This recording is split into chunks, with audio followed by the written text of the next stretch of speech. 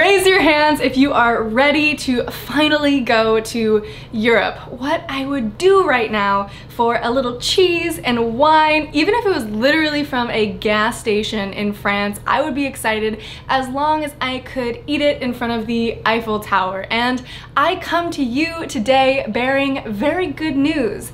The European summer is finally among us and it's time to let your Spanish island hoppin', Italian pasta slurpin', Greek flags fly. Okay, I'm so sorry. I'm so sorry. I'm done. Keep in mind that restrictions are changing a lot this year and it's different for every nationality. So be sure to research via your local embassies online to get the most up-to-date information before you travel to Europe. And if you're an American like me, don't forget your vaccination cards at home because I've already had a friend who was on her way to Iceland and she forgot her vaccination card and they would not let her on the plane even though she had a picture of it on her phone. So just be careful and make sure that you're jumping through all of these new regulations and hoops that you have to do to travel these days. Make sure you get your COVID tests within the you know right time frame, 72 hours or, or whatever it may be for the country that you're traveling to. And while we're talking about doing research, I always recommend doing your homework before you get to the country of your destination so that way you don't have to spend any time sitting in a hotel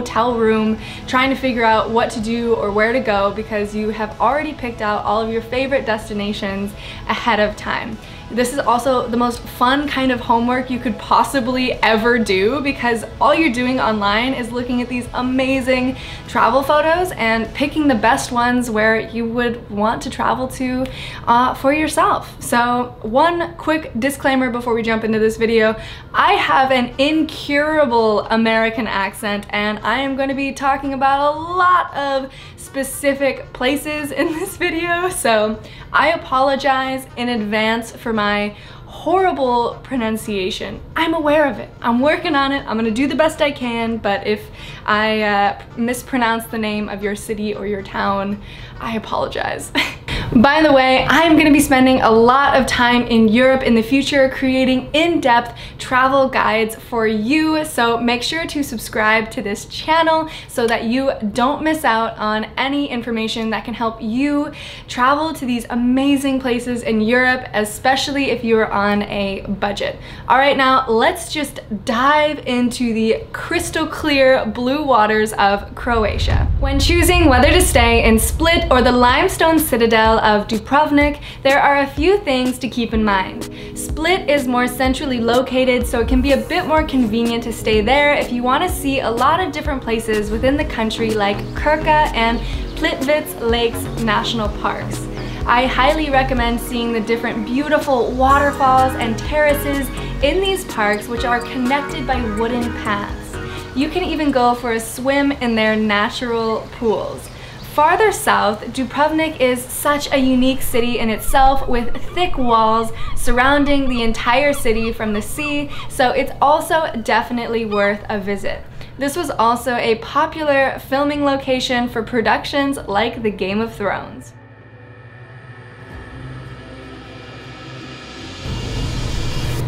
There are an abundance of incredible islands to explore in Croatia like Hvar, which is a popular party destination, or if you're looking for something more relaxed while exploring the Dalmatian coast, you can sail through the pristine waters of Kornati National Park. Depending on your style of travel, whether you rent a car, take tours or ferries to the surrounding destinations, etc., I would budget between 40 and 100 US dollars per day to travel in Croatia. Montenegro is one of the most underrated road trip destinations in the world. You can drive around serpent-like roads which harbor panoramic views of the sun-drenched fjords. You'll also cross stunning bridges like the Đurđevića Tara Bridge, which stretches over the Tara River and was completed just as World War II was beginning.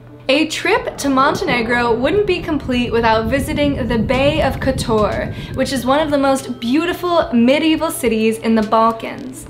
You should also venture down the winding Riviera through picturesque towns like Perast and Budva, which truly come alive at night with amazing views and nightlife. Depending on your style of travel, whether you go for a backpacker budget or a more mid-range style of accommodation and activities, I would budget between 35 and 100 US dollars per day to travel in Montenegro. The next stop in the Balkans you should definitely visit is Bosnia and Herzegovina.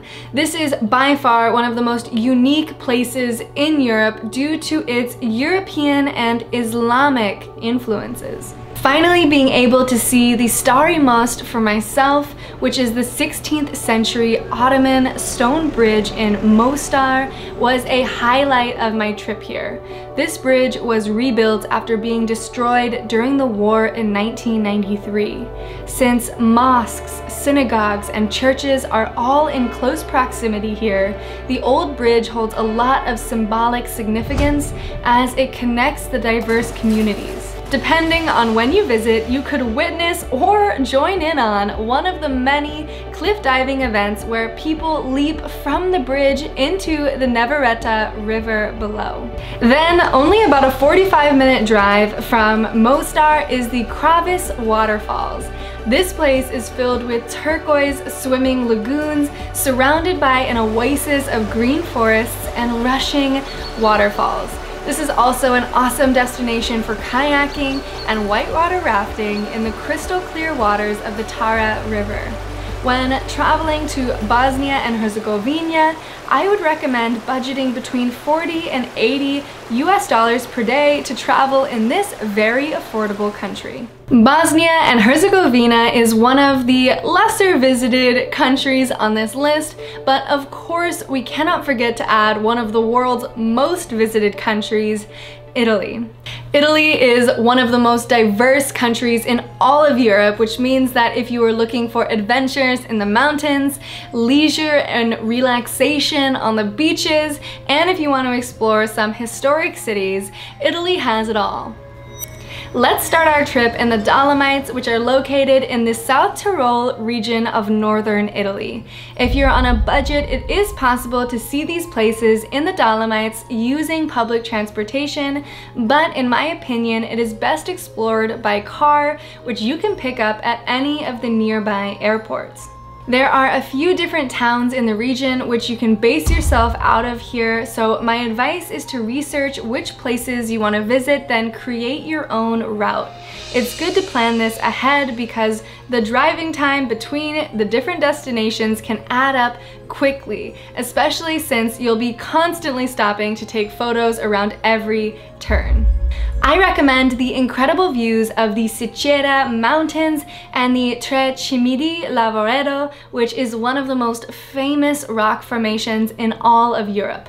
On a completely different side of the country, you should take some time to experience the famous Italian coast anywhere from Vernazza in Cinque Terre to the north all the way to Positano on the Amalfi coast in the south, you really cannot go wrong here. And the sky is the limit with how much you can spend on a vacation here, but I can tell you that it is possible to travel in these regions on a backpacker's budget by staying in hostels and eating modest, healthy meals from the local markets rather than restaurants located in the heart of tourist tourist attractions.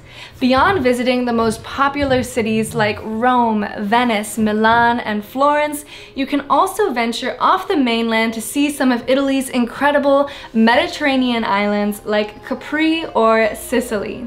Italy is not one of the cheaper countries to travel in Europe and you shouldn't expect to pay much less than 50 or 60 US dollars per day while traveling anywhere in the country. Keep in mind that that doesn't include any additional travel expenses to get to any of these islands. Believe it or not, those were only a fraction of the amazing places in Italy that I wanted to include in this video, and there will be a complete travel guide coming very soon, so don't forget to subscribe if you don't want to miss out on that. And the next place that we are going to be exploring is another beauty in the Balkans, Slovenia. It is remarkable that Slovenia, which is tucked between Italy and Croatia, some of Europe's most visited countries, and it already has not been overrun with tourists. In Slovenia, you can find not only a quaint city topped with a medieval castle and serene beaches on the Adriatic Sea, but also my personal favorite, glacier-fed lakes and snow-capped mountains interlaced with neon turquoise rivers. This region is equally suited for honeymooners and backpackers in search of romantic or adventurous experiences in nature. One of my favorite places in Europe is the Socha Valley.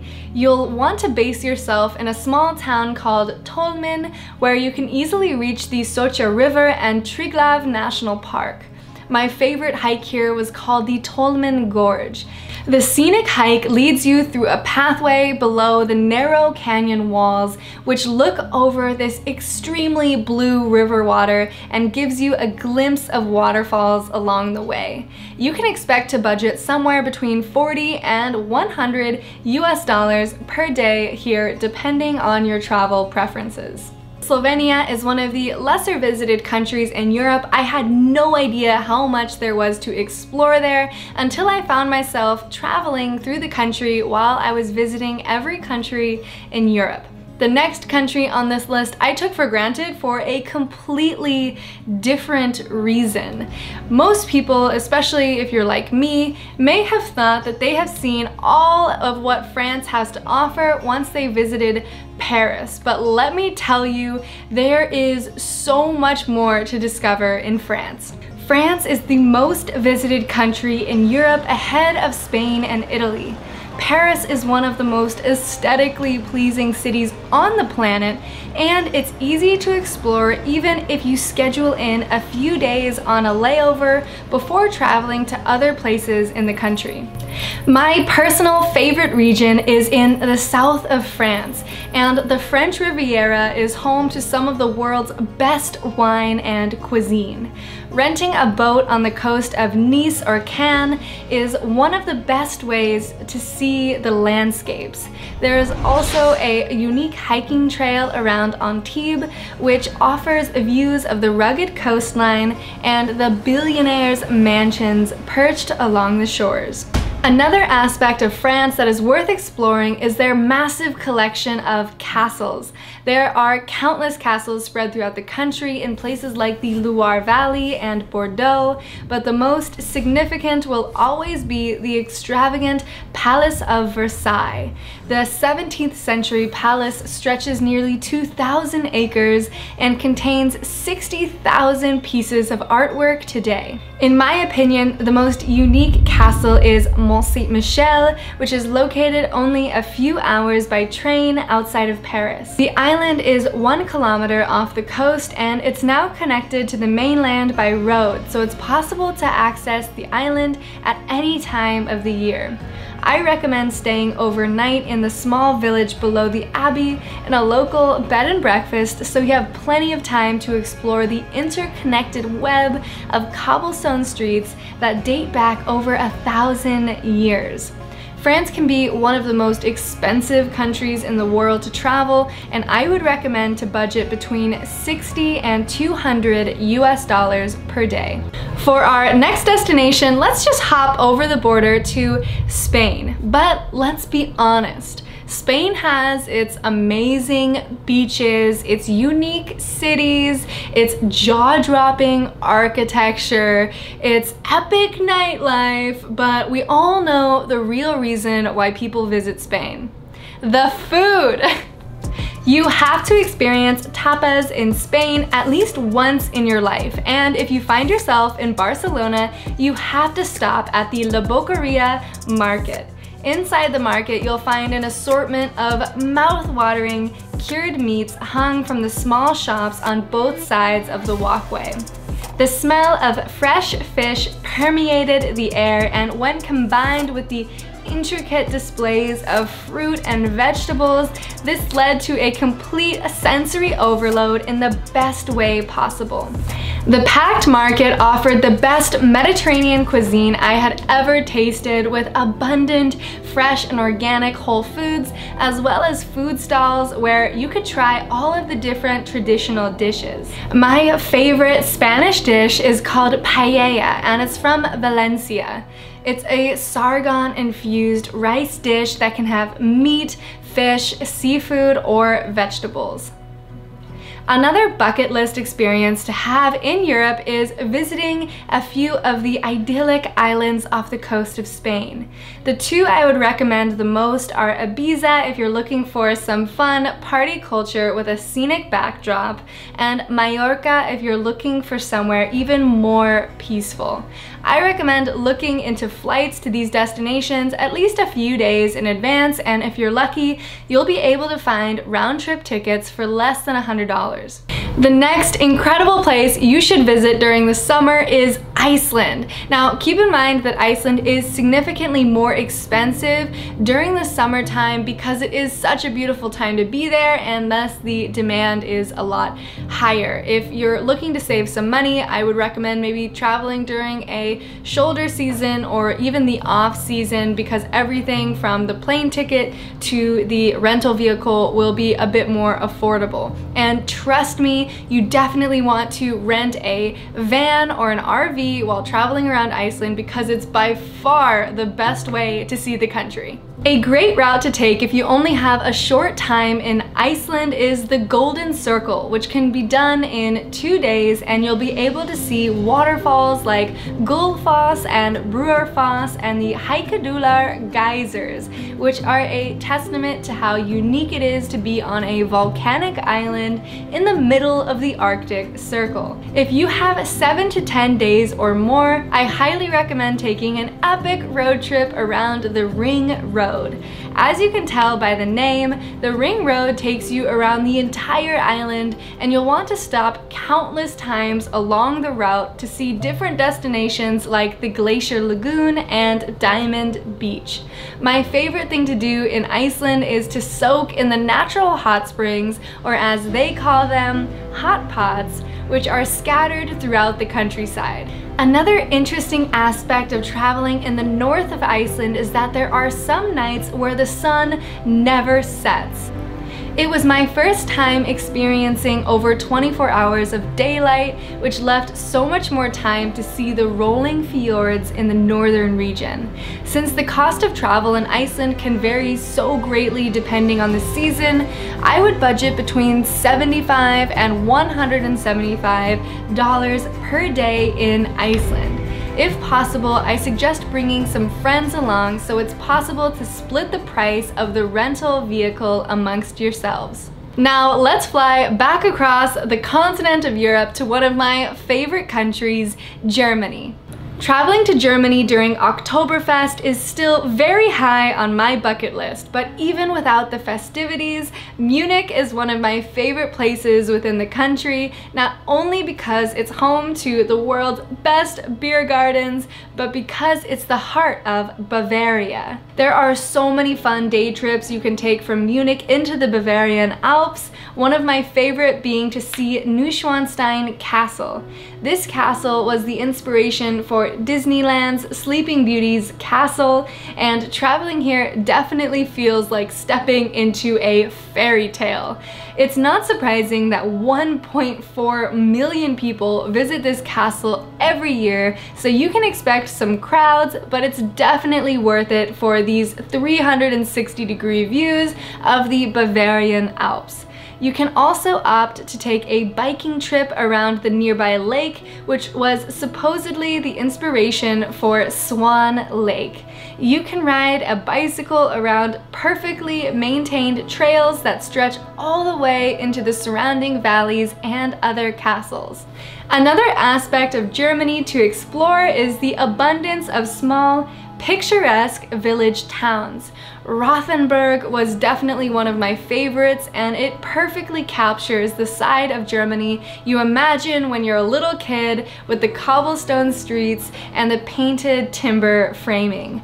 While traveling around this beautiful country, I would suggest budgeting between 50 and 150 US dollars per day depending on your travel preferences. Also, be sure not to forget to try the sausage and sauerkraut when you're traveling in these tiny German towns. It's by far one of the most satisfying meals I've ever had with a good pint of beer after exploring all day. Our next stop is Greece, and there are plenty of things to do on mainland Greece, but let's be honest, during the summer, the best thing to do in this country is to go island hopping. My favorite experience in Greece was renting a boat on Zakynthos and going around the entire island. Shipwreck Beach on Zakynthos is one of the most famous beaches in the world now thanks to Instagram, but there were so many other amazing beaches and coves around the island. I highly recommend spending a few days there. The other popular islands include Mykonos, Santorini, Milos, Ios, and more. I personally enjoy going to places that aren't jam-packed with tourists so I would suggest going to some of these slightly less populated islands during the peak season. Greece is a budget-friendly destination, but the prices for accommodation, tours, transportation, etc. can vary greatly depending on the season and which islands you are traveling around. So I would recommend budgeting between 50 and 100 US dollars per day. Our next country, Sweden, which is up in Scandinavia, is one country that I actually would recommend traveling to during peak season because I'm sorry Sweden, but you are a little bit hard to love during the winter time, other than Swedish Christmas, of course, which is by far the most adorable Christmas celebration ever. If I had to describe the energy in Sweden during the summer months in one word, it would be gratitude. The summer is such a special time for the locals because Swedes experience very dark, cold winters. So every day that is warm and sunny is a day to be celebrated. You can also truly appreciate how colorful the city of Stockholm really is when the sun is out, and it's also one of the most hip and trendy cities in the world. One of my friends once told me that the most underdressed they've ever felt was going to a festival in Stockholm.